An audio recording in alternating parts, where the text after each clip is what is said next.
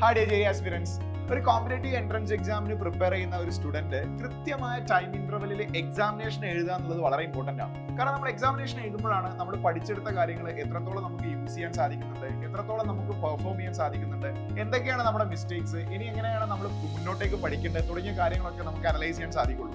അപ്പോൾ സൈലത്തിന്റെ one of the premium feature ആണ് G I B നിങ്ങളുടെ ഈ അക്കാഡമിക് ഇയറിലെ ആദ്യത്തെ ജി ഐ ബി കഴിഞ്ഞു. നിങ്ങൾ നന്നായിട്ട് പ്രിപ്പയർ ചെയ്യുന്നുണ്ടെന്ന് അറിയാം.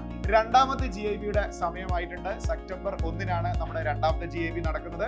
ത്രീ ടു സിക്സ് ആണ് എക്സാമിനേഷന്റെ സമയം. നിങ്ങളുടെ സിലബസ് വന്നിട്ടുണ്ട്. കൃത്യമായിട്ട് നോട്ട് ചെയ്യുക ഫിസിക്സിൽ ലാസ്റ്റ് ജി ഐ ബിയിൽ നടന്ന യൂണിറ്റ്സ് ആൻഡ് മെഷർമെന്റും അതുപോലെ മോഷനിനെ സ്ട്രെയിറ്റ് ലൈനിനെയും ഒപ്പം മോഷനിനെ പ്ലെയിനും ലോസ് ഓഫ് മോഷനും ഈ എക്സാമിന് ഇൻക്ലൂഡഡ് ആയിട്ടുണ്ട്. അപ്പോൾ മൊത്തം നാല് ചാപ്റ്റർ ആണ്. Units and measurement a straight line a plane and laws of motion ഇതൊക്കെ മെക്കാനിക്സിലും കൈനമാറ്റിക്സിലും വരുന്ന ഭാഗങ്ങളാണ്. വളരെ ഇമ്പോർട്ടന്റ് ആയ ടോപ്പിക്സ് ആണ്. ഇതൊക്കെ കൃത്യമായി പഠിച്ചെടുത്തിട്ട് വേണം നിങ്ങൾ എക്സാമിനേഷനിലേക്ക് വരാൻ.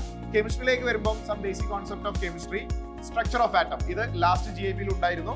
ഈ ജി ഐ ബിയിൽ അഡീഷണലി നമ്മൾ ആഡ് ചെയ്തു സൊല്യൂഷൻസും കെമിക്കൽ കൈനറ്റിക്സും അങ്ങനെ നാല് ചാപ്റ്റേഴ്സ് ആണ് കെമിസ്ട്രിയിലുള്ളത് മാത്തമാറ്റിക്സിലും അതുപോലെ തന്നെ ലാസ്റ്റ് ജി ഐ ബിയിൽ നമ്മൾ എഴുതിയ ഫണ്ടമെന്റൽസ് എന്ന് പറയുന്ന ചാപ്റ്ററും അതുപോലെ മെട്രിക്സ് ആൻഡ് ഡിറ്റർമിനൻസും അതോടൊപ്പം ആഡ് ചെയ്യുന്ന പുതിയ രണ്ട് chapters functions equations and inequalities trigonometry മാത്സിലെയും വളരെ പ്രധാനപ്പെട്ട ചാപ്റ്റേഴ്സ് ആണ് ഈ ജി ഐ ബിക്ക് ഉള്ളത്. സോ അടിപൊളിയായിട്ട് നിങ്ങൾ പഠിക്കുക. മൊത്തം മൂന്ന് സബ്ജക്റ്റും നാല് ചാപ്റ്റേഴ്സ് വീതം പന്ത്രണ്ട് ചാപ്റ്റേഴ്സ് ആണ് നമുക്ക് പഠിക്കാനുള്ളത്. ആസ് യു നോ ഈ പ്രാവശ്യത്തെ എക്സാമിനേഷൻ സൈലം വെബ്സൈറ്റ് വഴിയാണ് എക്സാമിനേഷൻ നടക്കുന്നത്. ആറ് മണിക്ക് എക്സാമിനേഷൻ അവസാനിക്കും. ഏഴ് മണിക്ക് എക്സാമിനേഷന്റെ ആൻസർ കീ ഡിസ്കഷൻ ഉണ്ടായിരിക്കുന്നതാണ്. സോ ആൻസർ കീ ഒക്കെ കൃത്യമായിട്ട് നോക്കണം. നിങ്ങളെ മിസ്റ്റേക്കുകളൊക്കെ കറക്റ്റ് ചെയ്യണം. അടിപൊളിയായിട്ട് പഠിക്കണം. നന്നായിട്ട് നമുക്ക് പെർഫോം ചെയ്യണം. So all the very best അടിപൊളിയായിട്ട് പഠിക്കാം. Bye guys